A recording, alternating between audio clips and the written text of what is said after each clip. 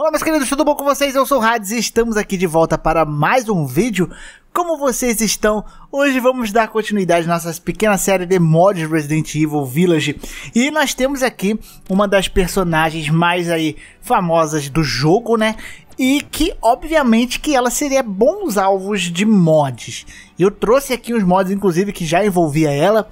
E agora temos aqui mods que só envolvem Alcininha Dimitrescu Samai, né? A diva aí da galera, que todo mundo teve um hype excessivo nela.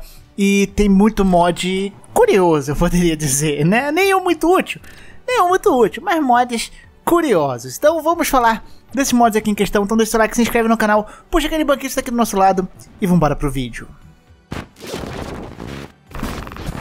Bem, né? A gente tem aqui o Mr. X, né, do Resident Evil 2, que ficou aí icônico e ele tem um comportamento semelhante, né, a Dimitrescu, que é ficar te perseguindo e tal. E óbvio que não perderam tempo e adicionaram o rosto, né, uma espécie de rosto misturado, uma fusão Dragon Ball do rosto do Mr. X com a Dimitrescu. Se ela fosse um Tyrant, talvez ela poderia ser algo desse tipo aí, mas eu devo dizer que parece uma manga chupada o negócio, né? Ficou muito feia. Os detalhes do rosto ali ficou uma criatura esquisita, né? Meio roxona ali, cheia de marcas no rosto.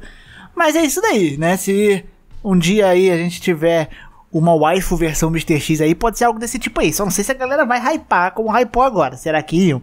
Não sei, você hyparia? Ah, com esse rostinho aí lindo e maravilhoso. Eu não sei, não sei.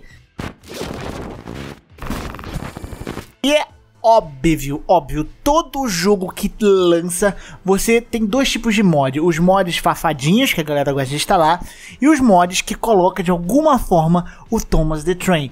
Não importa, tem mod, tem Thomas the Train. Você olha para um jogo de PC, pesquisa o nome do jogo, mas Thomas the Train vai ter mod de Thomas the Train. E obviamente não deixaram de colocar o rosto da Dimitrescu com o Thomas the Train, obviamente que ficou isso aí que vocês estão vendo.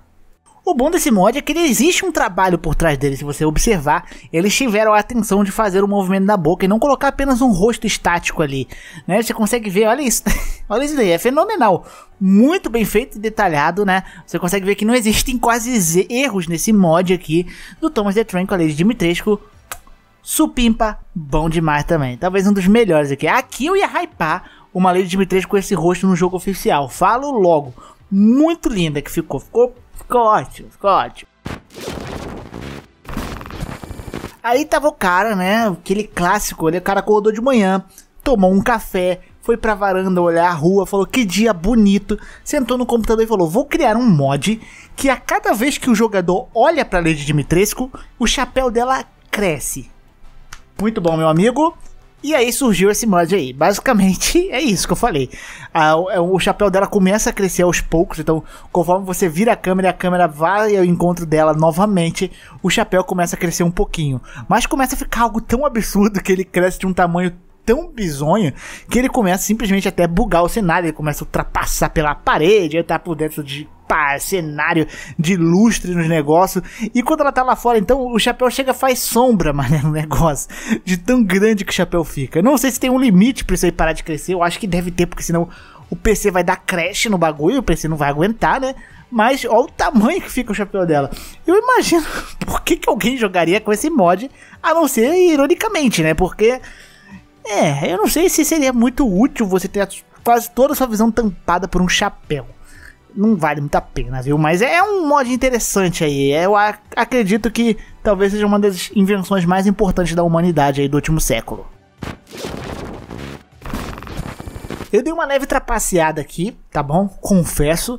Mas eu queria só falar desse mod aqui que conseguiu, que os caras tiveram ali a ideia de conseguir adicionar mod num jogo de PlayStation 4 como Bloodborne com a Lady Dimitrescu. Sim, a gente tem ela no outro jogo, mas a gente trapaceou, vai. Mas ficou muito bom esse mod. Eles substituíram um chefe do jogo de Bloodborne, que é a Lady Maria, e colocaram a Dimitrescu. O interessante é que essa chefe do Bloodborne, ela usa um movimento de espada, o que acabou casando muito bem com as garras da Dimitrescu e funcionou de uma forma interessante até. O mod ficou bem feitinho, cara.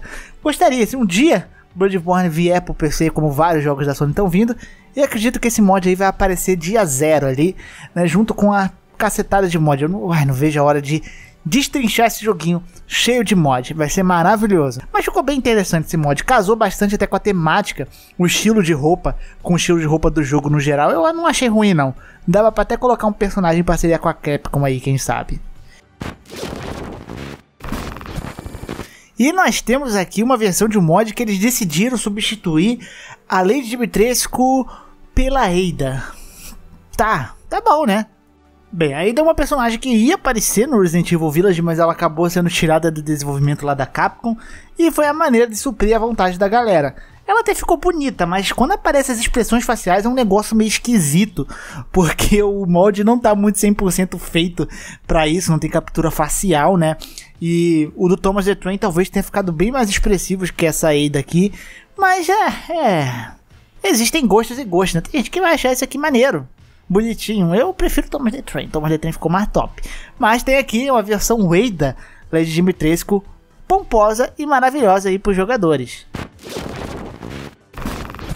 Que a Dimitrescu é uma personagem alta, eu acho que todo mundo já sabe, né?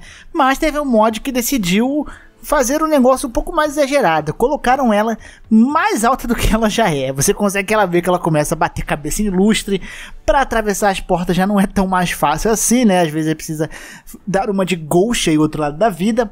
E ela fica extremamente mais alta. Talvez mais imponente, mas o design do jogo não era muito para encaixar ela desse tamanho aqui.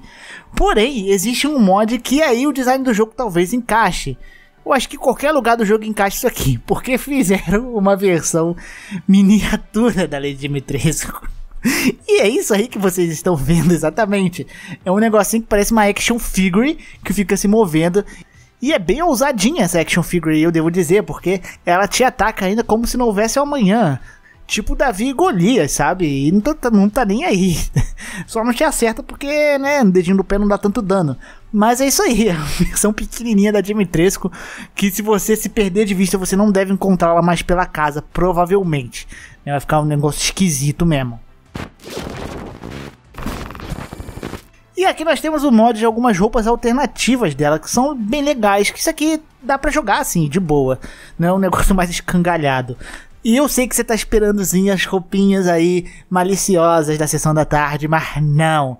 Vai no Google que você acha de boa, tá? Eu decidi colocar umas que realmente pareçam um pouco mais ainda com a temática do jogo, sem fazer um negócio muito louco. Como se o resto dos mods aqui fosse totalmente dentro do padrão do jogo, né? Mas enfim, a gente tem alguns mods que mudam o estilo e a cor do vestido da Dimitrescu, colocando tons e alguns detalhes que deixam o vestido bem interessante. Você tem uma versão vermelha do vestido que ficou bem da hora por sinal. E até combinou bastante com ela, já que ela era vampirona, esse negócio de sangue, tudo vermelhão. Ficou uma parada maneira, mano. Podia, a Capcom podia disponibilizar esses modzinhos aí, né? 0800 pra galera mesmo de forma oficial. E tem uma versão também do outfit da roupa dela totalmente preta, que também é da hora, embora eu acho que ela precise se diferenciar da cor da roupa com as filhas, né, senão vai ficar algo muito, sei lá, parecer uma equipe de super-heróis, mas também eu achei bem interessante aqui a cor da roupa. E teve mais um que fizeram ainda que se chama Casual de Mitresco, que é uma roupa mais realmente casual, ela de bota e calça jeans e tipo um suéterzinho. Eu achei bem legal também esse mod. Esse aqui fica um pouco mais fora de temática, mas é legal também. Só que o chapéu que eu achei que poderiam colocar algum chapéu diferente. Não sei, não combina muito com chapéu isso aqui, né? Não sou estilista nem nada, mas eu não achei que combina muito não, né? Para casual poderiam colocar outra coisa no cabelo, um chapéu mais casual. Não sei como são chapéus casuais, mas enfim. E esses três mods aqui da roupa dela são interessantes, até agregam pro jogo de certa forma. É, estamos evoluindo, né? Porque o resto dos mods aqui, nenhum se salva. Não, mentira, é tudo muito legal, cara. Eu amei esses mods aqui, velho. Joguem Resident Evil com esses mods aí que sua vida vai ser outra. E esse aqui é o nosso vídeo, pessoal. Espero que vocês tenham gostado. Se vocês gostaram, não esqueça de contribuir com aquele like. Se inscrever no canal. Muito obrigado pela visualização. Grande beijo, grande abraço. Fico por aqui. Um beijo no popô. É nóis e fui.